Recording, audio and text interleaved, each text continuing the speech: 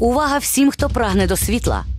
Перша та єдина у західній Україні професійна танцювальна трупа Рівненського палацу дітей та молоді Light Dance Company під керівництвом Наталії Сторожук із професійним світлом та звуком професійно танцюватиме на 18-му благодійному марафоні з вірою в майбутнє на сцені Палацу дітей та молоді 20 травня о 19.30.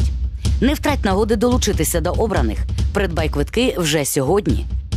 Прагни до світла.